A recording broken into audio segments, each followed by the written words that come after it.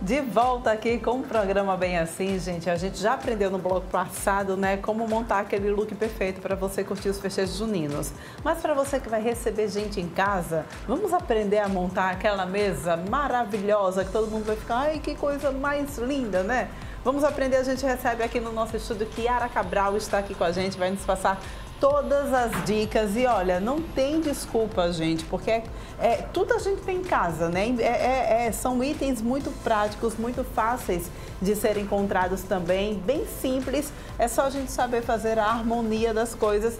E para isso a Kiara está aqui para exatamente para ajudar a gente, né? Seja bem-vinda, Kiara, aqui. então, dia. tem mesa posta o ano todo, tem mesa posta para tudo, inclusive para São João, né? Isso, sempre.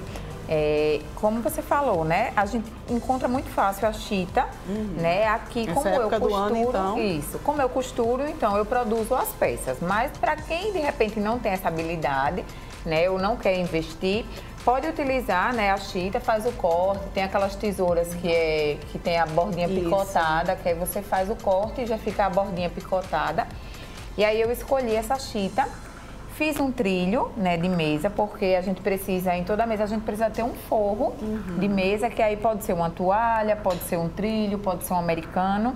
Aqui eu escolhi o trilho, tá? É, aí depois, como vai ser uma mesa de café da manhã, a gente utiliza o prato de sobremesa. Certo. Tá? Eu sempre trago a louça branca, né? Nas outras vezes que eu vim, eu sempre trouxe a louça branca. Porque branco, acho que todo mundo tem é em casa, verdade. né? Aquela louça branca. Mas hoje eu trouxe o amarelo, né, pra, porque o São João ele remete muito, né, essa coisa e do colorido. também com os detalhes dessa, dessa toalha que você trouxe, né? Isso, São João, a nossa festa, né, bem colorida. Então, o prato de sobremesa, aí a gente coloca os talheres, tá? O garfo sempre do lado esquerdo, a faca do lado direito, a xícara. E aí, é, eu trouxe alguns itens, né, que esses itens daqui eu consegui, né? Eu comprei no mercado do artesanato, no nosso mercado, uhum. né? Tem coisas lindíssimas.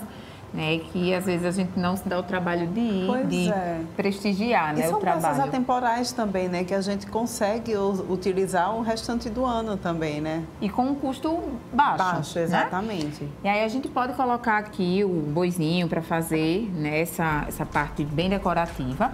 E aí, para essa, essa composição daqui, né, a gente mesmo tendo a xícara para o café ou para o chocolate quente, o cappuccino, a gente sempre coloca uma taça, né, para servir uma água ou um suco. E aí eu trouxe a taça amarela também para ficar aqui conversando com o prato, com as flores. E aí agora a gente vai fazer uma dobradura, tá? Olha, que é uma dobradura, é uma dobradura de fogueira, tá, junina. Então a gente vai utilizar essa xícara mesmo daqui nós vamos fazer uma fogueira dentro dela. Então, é super simples essa dobradura. A gente vai ó, abrir os dois guardanapos. De preferência, uma, um, um, amarelo, amarelo e, e, um, vermelho. vermelho. que é para poder ter as, os tons da Isso. fogueira, né? Do fogo da fogueira. Vou colocar assim, só para dar um, um... Então, ó, coloquei um por cima do outro, uhum. seguro aqui no Com meio. Com as pontinhas desalinhadas. Isso. Para dar aquele, aquela sensação uhum. da chama, né, da fogueira, seguro aqui no meio. Aqui eu vou enrolando, posiciono aqui dentro da xícara. Gente e aí, o que é que a gente pode fazer aqui para completar? Eu trouxe paçocas, que aí a gente vai fazer a lenha, tá? Da fogueira. Já trouxe abertas, né, para economizar tempo. Uhum. Mas aí a gente vai fazer aqui, ó, como se fosse a lenhazinha. Vamos botando aqui para frente para o Josiel pegar lá a imagem. Gente, que prático e que lindo que fica, né? Prontinho. Olha só. E aí nós já teríamos a primeira opção, né? Que é essa fogueirinha aqui. Né, quer virar para lá? Vou tirar aqui para ele ver.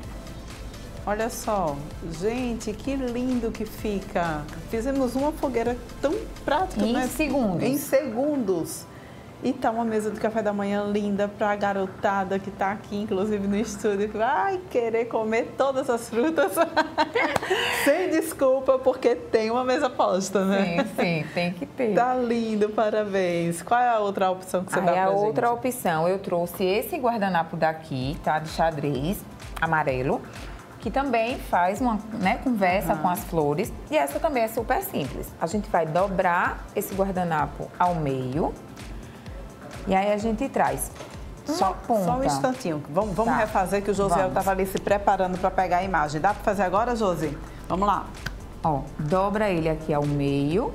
Aí a gente posiciona aqui o dedo. Uma ponta para baixo, uma ponta para cima. Ele vai ficar assim. Certo. E aí aqui a gente dobra e já virou uma, bandeira.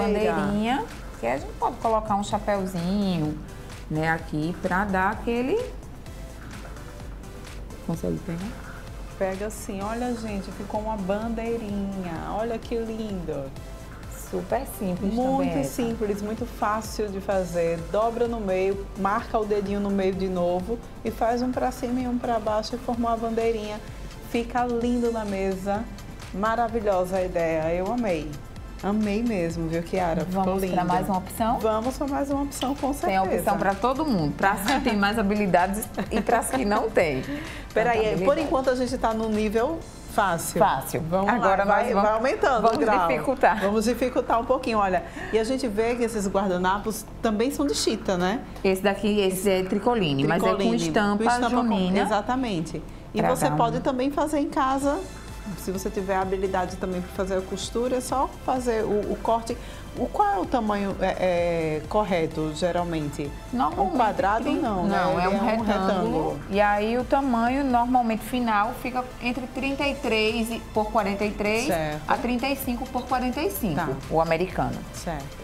E aí, para essa estampa daqui, eu trouxe o, a louça transparente, né? Sim. né? Porque eu queria dar uma, visi, uma visibilidade maior, uhum. né? Para a estampa. Então, eu trouxe essa louça transparente. Aí, no, novamente, a gente coloca aqui os talheres, né? Para o café da manhã. Podemos colocar aqui para dar aquele, né? Aquela, aquele charme. A taça também vem para cá, tá? Seguindo e aí, os tons também. Isso. E aí, eu, ou a gente pode colocar o copo transparente, se você tiver em casa. Uhum. Não necessariamente precisa ser uma taça, se você só tem copo. Pode ser o copo que você tem em casa. E aí, agora nós vamos para uma dobradura que é um pouquinho só, mais difícil. Um é, mais tá? Mas difícil. olha, vocês viram aqui também super bem harmônico, bem bonito também, bem junino e bem prático de fazer. Agora a gente vai para a dobradura, vamos abrir espaço aqui, né, para poder fazer a dobradura, depois a gente coloca tudo junto. A gente começa com o guardanapo amarelo, tá? Então a gente vai dobrar ele aqui.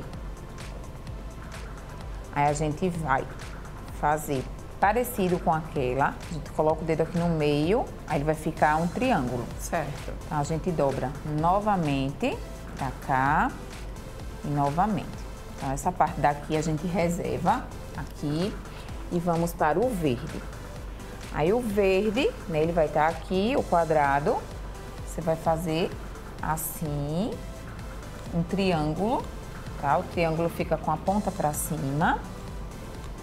Aí a gente vai colocar aqui, ó. Nós vamos fazer um milho.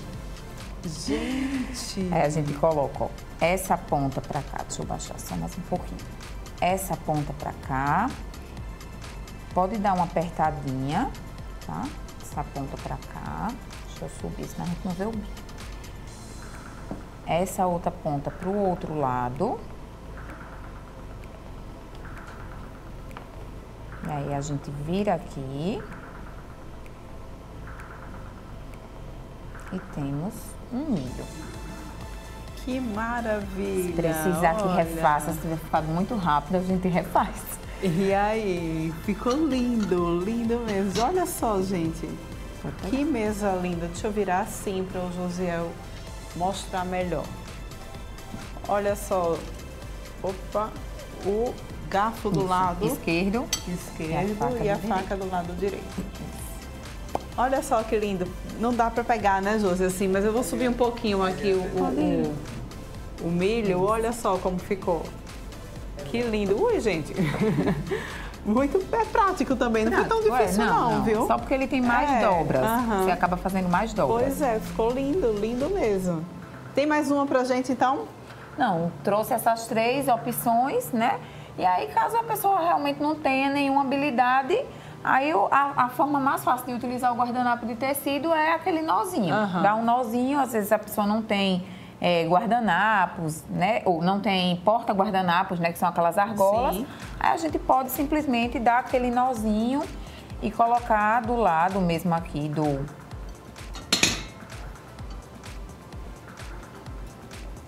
Só um nozinho mesmo. É. E aí fica bem, bem desconstruído, né? Uhum. Não fica tão formal assim. Também fica super bonito. Você pode brincar, né? Fazer um lugar com verde, um lugar com amarelo, um lugar com vermelho. E aí fica nas cores. Peraí, eu vou testar, ver se eu vou conseguir fazer o, Vamos, o, o, milho. O milho, né? Que foi o mais difícil, tá, mais gente? Difícil. Pois é. Porque os outros foi bem, foi bem facinho mesmo. Vamos tentar, vamos, vou testar o milho, tá, tá. certo? Para ver se foi, se a gente consegue pegar mesmo. Olha, pega o guardanapo, dobra no meio, certo? E aí põe o dedinho no meio isso. e faz um, um triângulozinho. Não é uhum. isso? Como se fosse como isso. se a gente fosse fazer um barquinho. Um barquinho Exatamente. É isso. Outra dobra. Outra dobrazinha aqui. É um avião. Uhum. Pronto, essa parte Reserva, já está pronta. Essa parte já está pronta. Pega o outro verde, guardanapo verde, faz novamente um triângulo. Não é isso? Isso. E agora a gente vai Isso, montar, juntar os dois. Bota a pontinha para cima, ponta com ponta, mas aí a gente precisa lembrar que o milho precisa aparecer, então bota ele um pouquinho mais para cima. Isso. Não é isso? Isso. E aí a gente dá uma apertadinha desse lado, uhum. uma apertadinha desse. Arrasou. E vira. Ai, tá dando certo. E olha só, o milho tá pronto. Não tem desculpa para não, não fazer a mesa. Não tem desculpa para não fazer a mesa mais, gente. E olha, adorei as dicas, Kiara. Ficou lindo. E você em casa não, não tem desculpa também, viu, gente? Se eu não tenho aptidão e conseguir fazer, tenho certeza que você também consegue. Muito obrigada. Obrigada mesmo pela tua participação. Tá tudo anotado, né? Agora sabe o que é que tá faltando aqui para isso? O prato junino, né?